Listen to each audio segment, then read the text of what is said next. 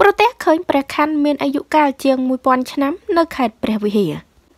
យោងតាមគណនី Facebook មួយដែលមានឈ្មោះថាសាមញ្ញជន បានបង្ហាញឲ្យដឹងអំពីព័ត៌មានមួយ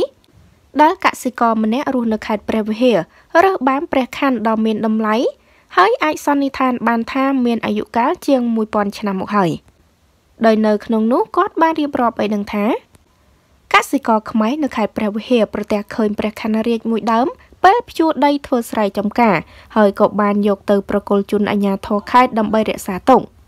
និងយកទៅត្រួតពិនិត្យបន្តដើម្បីបញ្ជាក់ពីអាយុកាលរបស់ព្រះខ័ននេះតែបើតាមការសន្និដ្ឋានជំហានដំបូងទំនងជាព្រះខ័ននេះមានអាយុកាលជាង1000ឆ្នាំមកហើយតាមរចនាបថនៃព្រះខ័នដងបានរចនា មានរូបរាហូចាប់ច័ន្ទអមដោយក្បូរក្បាច់រចនាទម្រង់ប្រាសាទរបស់ខ្មែរយើង។ ចាព្រះខ័ននេះត្រូវបានកសិករម្នាក់គាត់រើសបាន ពេលដែលគាត់ភ្ជួរដី នៅខេត្តព្រះវិហារឃើញថាស្អាតប្លែកមែនទែនហើយអាយុកាលក៏មិនតិចដែរអាចនិយាយបានថា ចូល1000ឆ្នាំហើយប៉ុន្តែយ៉ាងណាមិនទាន់បានត្រួតពិនិត្យច្បាស់នោះទេថាមានអាយុប៉ុន្មានឲ្យពិតប្រាកដ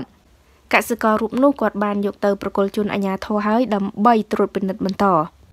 ចាអរគុណច្រើនប្រិមត្តទាំងអស់គ្នាតេតងនៅព័ត៌មាននេះដែរក៏សូមបញ្ចប់តែត្រឹមនេះសូមអរគុណ សូមគោរពលា